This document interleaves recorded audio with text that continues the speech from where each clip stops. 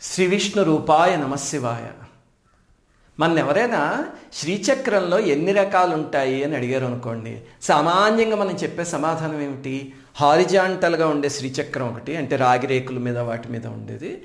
Three డైమెన్షనల్గా ఉండే శ్రీచక్రం ఒకటి మేరు అంటారు కదా. ఈ రెండే మనకి తెలుసు. కానీ శ్రీచక్రంలో ఎన్నో రకాలు ఉన్నాయి ఒక్కొక్క శ్రీచక్రానికి ఒక్కొక్క రకమైన ప్రయోజనం ఉంది ఒక్కొక్క రకమైన శక్తి ఉంది. వాటిల్లో అతి ముఖ్యమైనవి నాలుగు రకాల శ్రీచక్రాలు. ఒకటి భూప్రస్తారం అంటారు. అదే ఇందాక మనం అనుకున్న టూ డైమెన్షనల్ శ్రీచక్రం. ఒకటి మేరు ప్రస్తారం అంటారు. అదే త్రీ డైమెన్షనల్ శ్రీచక్రం. అది కాకుండా కూర్మ ప్రస్తారం అని ఒకటి పద్మ ప్రస్తారం అని ఒకటి రెండు ఉన్నాయి ఈ నాలుగు అతి ముఖ్యమైన శ్రీచక్రాలు అన్నమాట ఇవి ఎక్కడున్నాయండి? మనం చూడొచ్చా? అంటే ఆదిశంకరాచార్యులు వారు ప్రతిష్ఠించినవే కొన్ని చోట్ల ఉన్నాయి మనకి తెలియని చోట్ల. ఇప్పుడు అవి ఎక్కడున్నాయి అనేది చెప్తా. అందరికీ నమస్కారం. మన భారతీయ సనాతన ధర్మం గురించి ఈ దేశంలోని మహనీయుల గురించి ఆలయాల రహస్యాల గురించి ఎంతో పరిశోధన చేసి ఈ ఛానల్ని మీకు అందిస్తున్నాం. సబ్స్క్రైబ్ చేసి పక్కనే ఉన్న బెల్ ఐకాన్ని క్లిక్ చేయండి. మీరు సామాన్యంగా కొన్ని కొన్ని అమ్మవారి క్షేత్రాలకు వెళ్ళారంటే అక్కడ ఇక్కడ ఆదిశంకరాచార్యులు వారు శ్రీచక్రం వేశారు. అక్కడి నుంచి అద్భుతమైన శక్తి వచ్చింది క్షేత్రానికి అని చెప్తూ ఉంటారు కదా. కానీ కొన్ని చోట్ల మనకు అవి కనిపిస్తాయి. కొన్ని చోట్ల కనిపించవు. ఉదాహరణకి శృంగేరి శారదాంబికను చూస్తే మీరు శంకరాచార్యుల వారు శ్రీచక్రం కింద వేసేసి పైన అమ్మవారిని ప్రతిష్ఠించారు. అందుకని ఆ శ్రీచక్రం మనం చూడలేం అలా చాలా క్షేత్రాల్లో చూడలేము. కానీ చూడగలిగే క్షేత్రాలు కొన్ని ఉన్నాయి. అవి ఏమిటో ఈ వీడియోలో చెప్తా.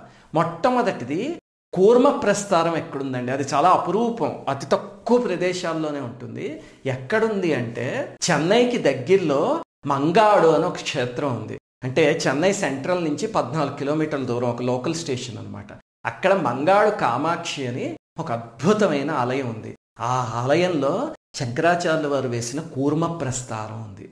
ఎందుకు వేశారండి అక్కడ అంటే మీరు స్థల పురాణం ప్రకారం చూస్తే కనుక మనకి పురాణాల్లో కథ ఉంది కదా ఒకసారి అమ్మవారు వచ్చి పరమేశ్వరుడి కన్నులు మూసారు ఆ తర్వాత ఎన్నో ఉపద్రవాలు జరిగాయి అది మనకి తెలుసు కదా.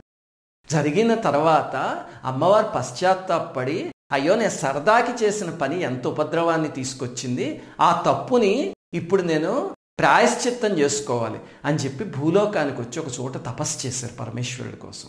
అందులో అలాంటి ఇలాంటి తపస్సు కాదు. పంచాగ్ని మధ్యమంలో నిలబడి ఒంటి కాలు మీద పరమేశ్వరుడి కోసం కొన్ని వేల సంవత్సరాలు తపస్సు చేస్తే అప్పుడు పరమేశ్వరుడు సాక్షాత్కరించి కాంచీపురం క్షేత్రానికి వచ్చేయి అక్కడ మన ఇద్దరం కలిసి ప్రకటితం అవుదాము అని అమ్మవారిని అక్కడికి తీసుకెళ్ళిపోయారు. కానీ ఆ అమ్మవారి తపశ్శక్తి ఆ తపస్సు చేసిన ప్రదేశం ఉంది కదా అసలు ఆ ప్రదేశం దరిదాపులకి ఎవరు వెళ్ళలేకపోయేవారో ఆ శక్తిని తట్టుకోలేకపోయేవారు. అలాంటి సమయంలో చాలా సంవత్సరాల తర్వాత ఆదిశంకరుల వారటి నుంచి వెళ్తూ ఏమిటి ఇక్కడ ఇంత అద్భుతమైన శక్తి ఉంది? ఆయన ధ్యాన స్థితిలోకి వెళ్ళి గమనించేసరికి అప్పుడు అర్థమైంది శంకరాచార్యుల వారికి. అక్కడ ఒక శ్రీచక్రాన్ని ప్రతిష్ఠించి జనాలు తట్టుకోలేని శక్తిని అంతా తీసి ఆ శ్రీచక్రంలోకి ప్రవేశపెట్టారు. అది కూడా మామూలు రాతి శ్రీచక్రం కాదు. అష్టగంధం అని ఒక ధాతువు ఉంది. ఆ ధాతువుతో తయారు చేస్తారు చాలా శక్తివంతమైన ధాతువు అనమాట ఎనిమిది రకాల మూలికలు కలిసిన ఒక ధాతువు అది. ఆ తర్వాత అమ్మవారిని అందరూ దర్శించుకునే అవకాశం లభించింది. అక్కడ శంకరాచార్య వారు ప్రతిష్ఠించింది కూర్మ ప్రస్తారం. అంటే ఇదిగో బొమ్మలో చూపిస్తున్నట్టు నేల మీద భూపురం ఉంది కదా అది కూర్మం ఆకారంలో ఉంటుంది. ఉండి అది అర్ధమేరు అనమాట అంటే ఈ రెండు దళాలున్న ఆవరణలు ఉంటాయి కదా శ్రీచక్రంలో భూపురం తర్వాత. అక్కడ వరకు త్రీ డైమెన్షనల్గా ఉంటుంది. ఆ పైన ఫ్లాట్గా ఉంటుంది అనమాట యంత్రంలాగా. దాన్ని అర్ధమేరు అంటారు. ఆ శ్రీచక్రం ఇప్పటికే అక్కడ ఉంది ఆ శ్రీచక్రానికి అభిషేకం చేయరు. ఎందుకంటే నేను చెప్పానుగా రాతి శ్రీచక్రం కాదని కుంకుమ పూజ చేస్తారు. సంవత్సరం అంతా వెండి తొడుగు తొడుగు ఉంచుతారు. ఒక్క దసరాలప్పుడు మాత్రం బంగారపు తొడుగు తొడుగుతారండి. అసలు చూడ్డానికి రెండు కళ్ళు సరిపోవు. మనకి అమ్మవారిని చూసినట్టే ఉంటుంది అంతే రోజు ఆ శ్రీచక్రానికి ఒక తొమ్మిది గజాల చీర అవన్నీ చుడుతూ ఉంటారు. దసరాల్లో వెళ్తే అద్భుతంగా ఉంటుంది అసలు. అలాగనే ఇదే క్షేత్రానికి ఒకసారి మళ్ళీ ఇంకొక అపర శంకరాచార్యుల వారు కంచి పరమాచార్య వచ్చారు. వచ్చి ఆయన ఈ ఆలయంలో శ్రీచక్రాన్ని చూసి వెనక వైపుకు వెళ్తే అక్కడ ఒక చోటు కూర్చుని ధ్యానం చేస్తూ ఉంటే ఓ కామాక్షి అమ్మవారు ఎక్కడ నిలబడి తపస్సు చేశారు అనేది ఆయనకి ధ్యానంలో తెలిసింది. సరిగ్గా ఆ ప్రదేశంలో కామాక్షి అమ్మవారి తపోమూర్తిని ప్రతిష్ఠించారు. అంటే అమ్మవారు ఒంటికాల మీద నిలబడి ఇలాగా జపమాల పుచ్చుకుని ఉన్నట్టు ఇదిగో ఇక్కడ నేను చూపిస్తున్న మూర్తిని అక్కడ ఒక ఆలయం కట్టి ప్రతిష్ఠించారు. అందుకని ఈసారి చెన్నై ఎప్పుడు వెళ్ళినా ఒక కొన్ని గంటలు పక్కన పెట్టుకుని మంగాడు కామాక్షి క్షేత్రానికి వెళ్ళి తప్పకుండా దర్శనం చేసుకోండి. ఆ క్షేత్రానికి ఎలా వెళ్ళాలి అనే అడ్రస్ వాళ్ళ వెబ్సైట్ అవన్నీ ఈ కింద ఉన్న డిస్క్రిప్షన్లో ఇస్తున్నాను. ఇప్పుడు మనకి వెంటనే ఒక అనుమానం వస్తుంది. ఏమండి ఇదేమిటండి అసలు? ఒక శక్తి ఉందిట ఆ శక్తిని ఎవరు తట్టుకోలేట అక్కడ శ్రీచక్రం వేస్తే తట్టుకోగలరట. అసలు ఎలా కుదురుతుందండి? శక్తి అనేది ఎప్పుడైనా శక్తి అనిపిస్తుంది కదా. ఇది ఏమీ లేదు ఫిజిక్స్ అంతే. Energy can neither be created not destroyed but can be transform to other forms అని మనం చదువుకున్నాం కదా. శంకరాచార్యులు వారు ఉపయోగించిన శాస్త్రం ఏమిటంటే అక్కడ ఆయన గొప్ప స్పిరిచువల్ సైంటిస్ట్ శంకరాచార్యులు వారు. ఆయన చేసినది ఏమిటి అంటే ఇప్పుడు ఒక ఎనర్జీ తీసుకోండి. ఫర్ ఎగ్జాంపుల్ ఒక వోల్టేజ్ ఉన్న కరెంట్ తీసుకోండి. అది తీసుకొచ్చి మన ఒంటి మీద ఇలా పెట్టారనుకోండి మనం తట్టుకోలేం. వెంటనే షాక్ కొట్టేస్తుంది. అదే వోల్టేజ్ని ఒక ఏసీకో ఫ్యాన్కో ఇచ్చి ఆ గాలినో ఆ చల్లదనాన్నో మన ఒంటికి తాకేలా చేశారనుకోండి అప్పుడు మనకి ఇబ్బంది ఉంటుందా? ఉండదు. అలాగనే ఆ శక్తిని వేరే ఫామ్లోకి ట్రాన్స్ఫార్మేషన్ చేసి మనకు అందించారు. అది శంకరాచార్య వారి మేధస్సు. ఇంక రెండోది భూప్రస్థారం అదెక్కడ ఉందండి అంటే మనం చాలాసార్లు వెళ్ళిన ఒక క్షేత్రంలో ఉంది కానీ మనకి తెలియకపోవచ్చు. ఎక్కడంటే కాంచీపురంలో. మీరు కామాక్షి అమ్మవారికి ముందు చూస్తే అక్కడ ఇలాగా ఒక పానవట్టం లాగా ఒకటి ఉంటుంది చూసారు? ఇది బొమ్మలో చూపిస్తున్నట్టు. దాని లోపల ఈ భూప్రస్థారం ఉంది. అది కూడా శంకరాచార్య వారు ప్రతిష్ఠించిందే. ఏమిటంటే కామాక్షి అమ్మవారి శక్తిని కూడా ఎవరు తీసుకోలేకపోయేవారు. అప్పుడు శంకరాచార్యుల వారు ఆ శక్తిని తీసుకొచ్చి శ్రీచక్రంలో పెట్టి అక్కడ ప్రతిష్ఠించి అందరూ అర్చన చేయాలి అని చెప్పారు. అందుకే కంచి పరమాచార్య స్వామి ఎన్నో సంవత్సరాల పాటు ఆ శ్రీచక్రాన్ని అర్చన చేసి మళ్ళీ తన తపశ్శక్తిని అక్కడ ధారబోశారు పిలిస్తే పలికిందండి తల్లి ఎన్ని ఎన్ని కథలు అసలు వేల కథలు. మీకు మూక కవి కథ తెలుసు కదా ఆయన పుట్టుకతో మూగవారు ఆయన మాటలు ఉండేవి కాదు. కామాక్షి అమ్మవారి ఆలయంలో కూర్చుని అలా అమ్మవారికి సేవ చేస్తూ ఉండేవారు.